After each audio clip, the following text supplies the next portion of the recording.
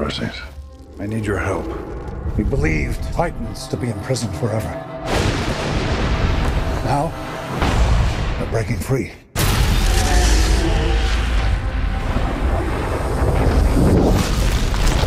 It will mean chaos.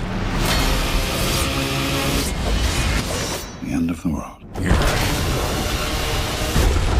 There's a way we can end this. What are you waiting for?